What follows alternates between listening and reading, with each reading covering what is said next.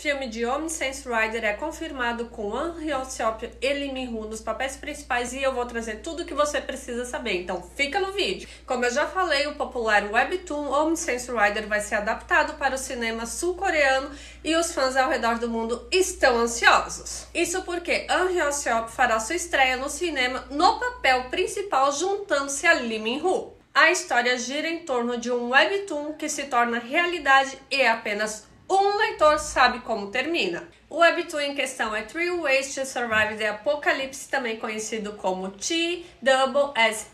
No dia do episódio final, o mundo é mergulhado no caos e cada ser humano tem que enfrentar missões para tentar sobreviver. Essas missões são atribuídas por pequenos seres diabólicos estranhos. O caos é transmitido para constelações ou seres poderosos de toda a galáxia que podem escolher ou não patrocinar os jogadores que se interessam, ou apenas simplesmente desfrutar do show. Pra mim tá parecendo um Round 6 das galáxias. Eu estou super ansiosa para assistir o filme porque eu sou super fã do Lee Min-ho, adoro o One Hyo-seop. Comenta aí se você também está afim de assistir o filme. E é isso, gente, até a próxima.